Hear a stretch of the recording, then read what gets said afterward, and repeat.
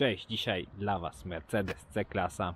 Mam takie wozy, trzy sztuki na placu, dwa przedliftowe, jeden sedan i ten kombi, którego kameruję.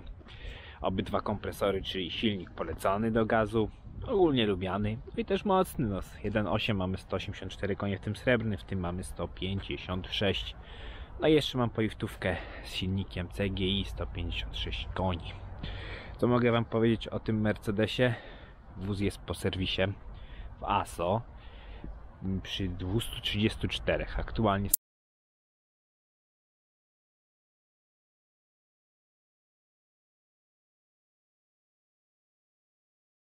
samochód ma przebieg 237 tysięcy, pochodzi z 2009 roku. I z takich ciekawszych rzeczy na pewno jest wóz od tak zwanego mitycznego doktora. Co to jest mityczny doktor? To zawsze z tych starych kiedyś ogłoszeniach było modne, nic nie stuka, nic nie puka, Niemiec płakałek sprzedawał, jeździł tylko pan doktor. No i tutaj Niemcy jeszcze w dokumentach używają tego sformułowania, wpisują tytuły i tutaj mamy auto od pana doktora. A co więcej o nim? Jeździ się nim dobrze. Tak jak wspomniałem wcześniej, silnik możecie zagazować. Na wyposażeniu macie czujniki parkowania przód-tył. Oryginalny hak Westfalia, odpinany. Jest on teraz w bagażniku, żeby tutaj na filmie nie po prostu nie szpecił mi go. Nie każdy lubi wygląd haka podczas codziennej jazdy. Pokażę Wam jeszcze wnętrze, bo jest naprawdę ładne. Wnętrze w ciemnym kolorze. Przejdźmy do bagażnika.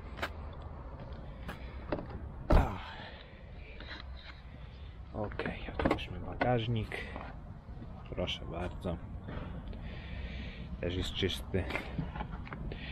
Tutaj jakby ktoś pytał, jest jakaś nalepka. Tutaj z jakiegoś landu z Niemiec. Nic tu nie jest pod nim ukryte. Widać nalepka z od kilku a stu lat na wozie. Pokażę Wam jeszcze przedni przedział wozu. Fotel niezużyty. Ładny.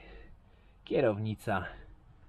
Tutaj przyciski wewnątrz grzane fotele, klimatyzacja automatyczna, przyciski na kierownicy, tempomat, ten większy licznik, bo to są z takim małym, które pokazują tylko przebieg, ten pokazuje jeszcze rzeczy na z komputera, takie informacje pokładowe.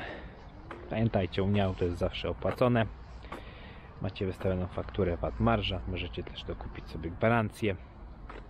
No i to by było tyle. No, jeśli ten wóz by się Wam nie spodobał, macie o mnie jeszcze takie dwa Mercedesy, jeżeli szukacie W204. No i myślę, że to by było na tyle.